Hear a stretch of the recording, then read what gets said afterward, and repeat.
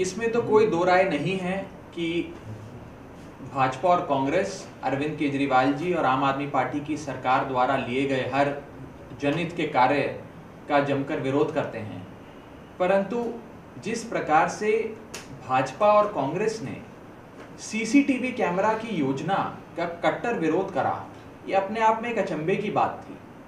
उन्होंने इस CCTV camera का विरोध क्यों करा? सीसीटीवी कैमरा लगने से तो दिल्ली की महिलाओं की सुरक्षा बढ़ेगी, दिल्ली में कानून व्यवस्था बेहतर होगी और अपराध कहीं ना कहीं थम जाएगा।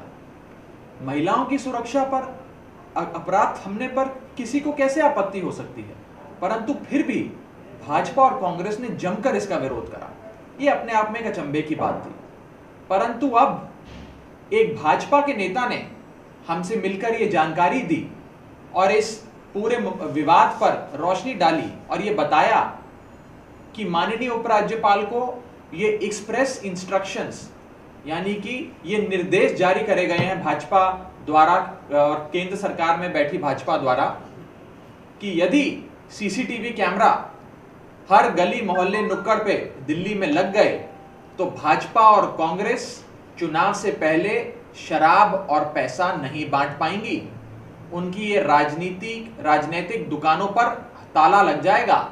और कहीं ना कहीं शराब और पैसे बांटने का काम जो भाजपा और कांग्रेस चुनाव से पहले करती हैं, वोट बटोरने के एक प्रकार से इलीगल काम करती हैं, उस पर रोक लग जाएगी और उनके वो काले कारनामे, वो काली करतूतें, सीसीटीवी कैमरा में कैद हो जाएँगी। इससे डरकर इससे भयभीत होकर भाजपा ने माननीय उपराज्यपाल को ये निर्देश जारी करे हैं कि किसी भी सूरत में, दिल्ली में सीसीटीवी कैमरा ना लग पाए। हम भी ये सोच रहे थे कि कैसे कोई भी व्यक्ति, कोई भी राइट माइंडेड आदमी सीसीटीवी कैमरा लगने का इतना विरोध कर सकता है, जिससे महिलाओं की सुरक्षा बेहतर होगी, कानून व्यवस्था बेहतर होगी।